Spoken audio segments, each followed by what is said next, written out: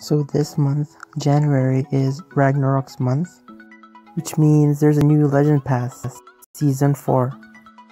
What I like about this season is that you can get a really good elite monster for free. I really appreciate Social Point for this because even the free to play players can get this really good elite monster, Grakon. And if you buy the Legend Pass, you'll get Grakon immediately. As you can see, if you buy the Legend Pass, you'll be able to get these perks.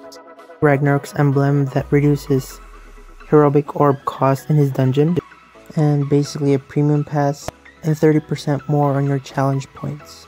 So if you buy the legend pass, you'll get these rewards on the top.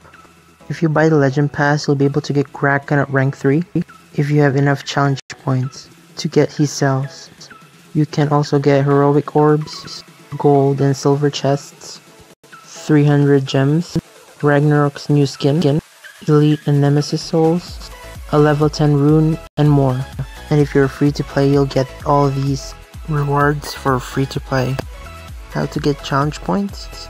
It's easy. You just need to do these daily challenges and weekly challenges to earn points.